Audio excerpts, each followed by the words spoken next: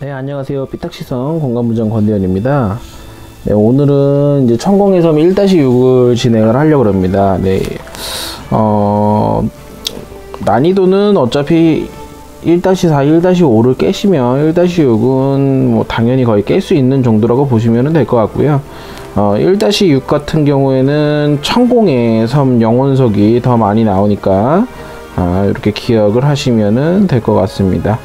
아, 그러면은 어, 영상을 한번 찍어 보도록 하겠습니다. 네, 공밤탱은 사고 어, 진행을 하도록 하겠습니다.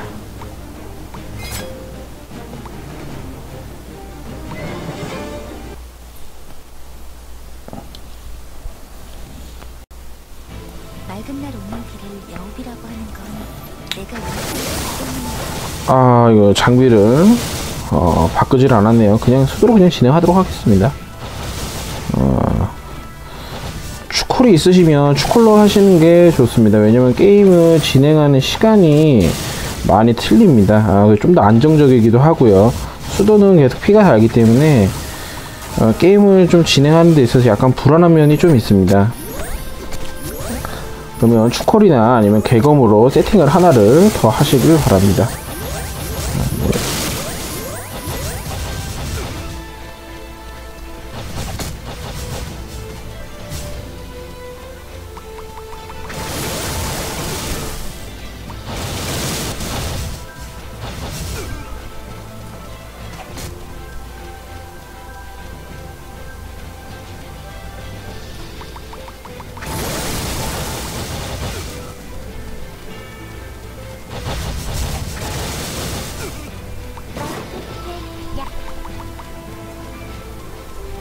What?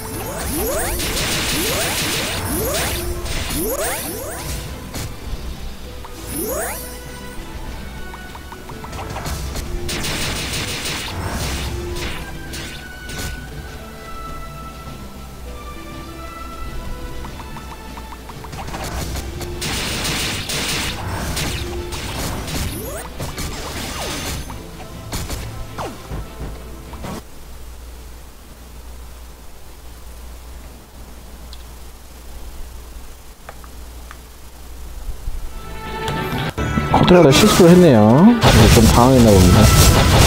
소리로 건드렸네요.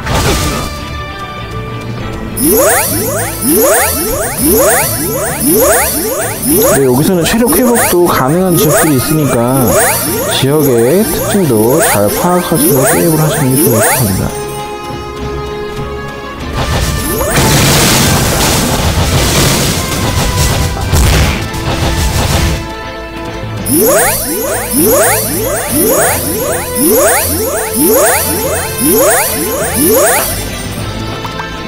그때 얘기했다시피 어, 진행을 하실 때는 분신미나가 나오고 6초 때에 사라집니다. 6초 6초가 되면은 뒤로 빠지시고요. 다시 어, 초기화가 되면은 어, 분신 스킬을 써서 분신미나를 불러내고 이 방식대로 진행을 하시면 됩니다. 어차피 분신 미나가 대신 맞아주기 때문에 그 전까지는 분신 미나가 나오면 그냥 게임을 진행하시면 됩니다. 그때는 컨트롤 하실 필요가 없고요. 6초다가 되면은 이제 본체를 공격하기 때문에 피가 납니다. 그때는 이제 컨, 뒤, 컨트롤 하시면서 뒤로 빼주시고요. 어, 그리고 다시 초기화가 되면, 리젠이 되면, 어, 다시 스킬을 쓰고 진행을 하시면 됩니다.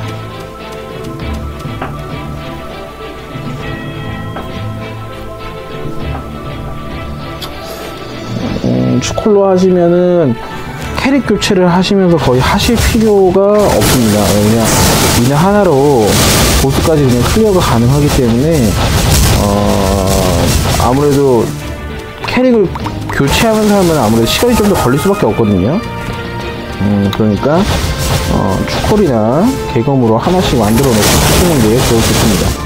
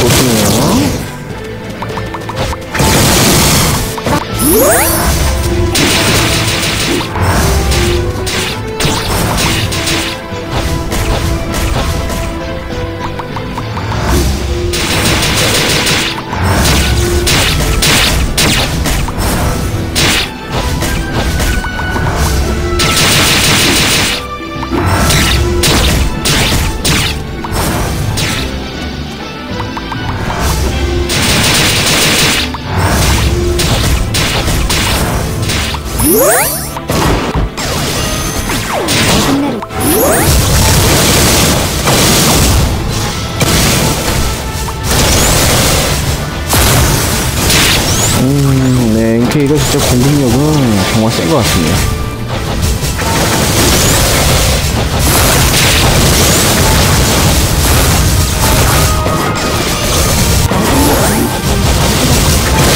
보스가 되시면은 어, 친구도 부르시고요.